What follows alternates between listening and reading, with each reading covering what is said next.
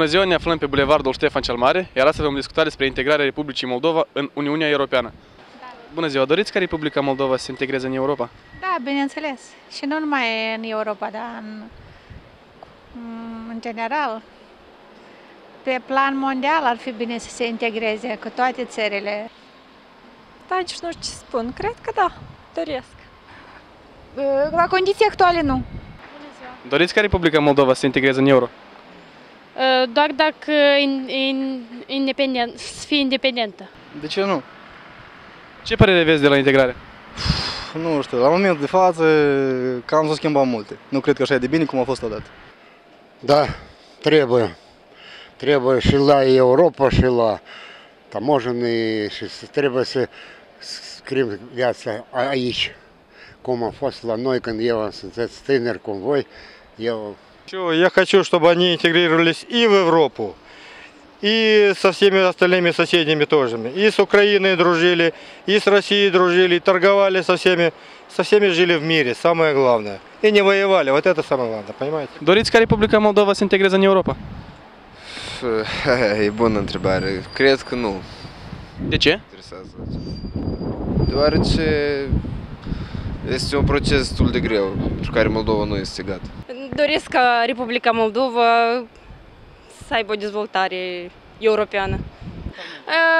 Nu știu care sunt avantajele în integrarea europeană, dar uh, cred că Moldova trebuie să rezolve din toate problemele interne și apoi să intre în uh, cu ce relații internaționale.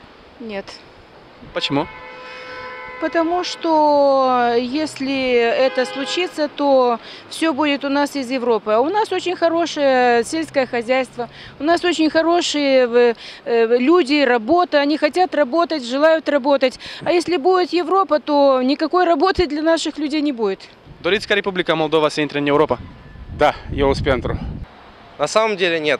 Я не считаю, что в- на данный момент ситуация экономическая, политическая э, позволяет Молдове вступать в Евросоюз. В дальнейшем, возможно, это будет принесет положительные какие-то моменты. Но сейчас я против этого.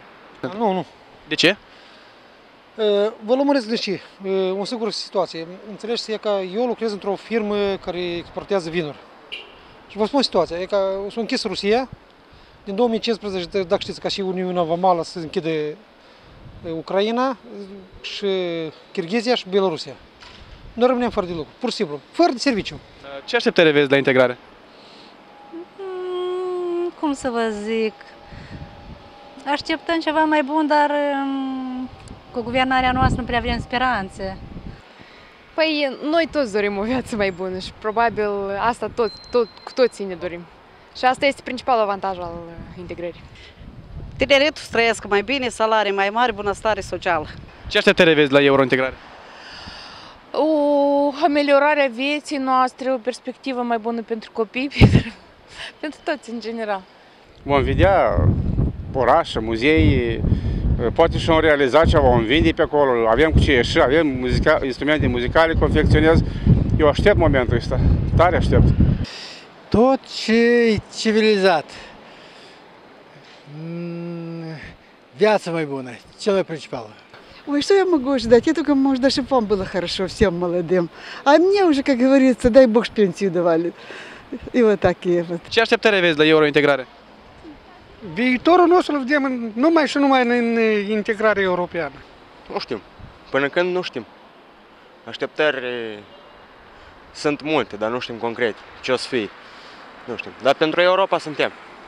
Credeți că este posibil un asemenea scenariu ca în Kiev? Nu, moldovenii nu sunt așa de patrioți ca ucraineni. Nu, dar n-ar încurca. Nu, e imposibil așa ceva. De ce?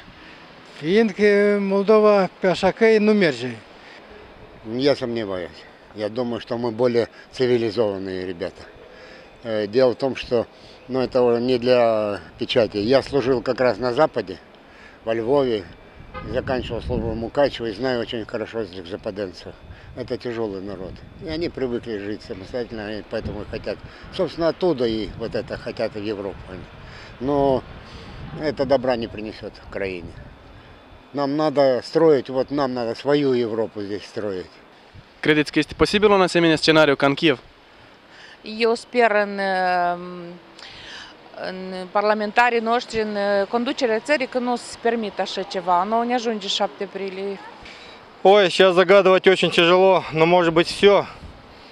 Надо быть толерантными друг к другу, друг друга уважать и понимать, и быть терпимыми. Нет, нет. Я не считаю так, потому что у нас нет такого расслоения, как на Украине. Там есть конкретно западники, конкретно восточная Украина. Там серьезный у них разлад, а в Молдове такого нет. Упаси Бог. Господи, сохрани. Nu, nu cred. Nu cred. Credeți că este posibil un asemenea scenariu ca în Kiev? Nu, la noi sunt... uh, Populația e fricoasă, să spunem, sincer. Și a fost 7 aprilie, totul s-a rășchirat foarte repede. La noi? Nu. De ce?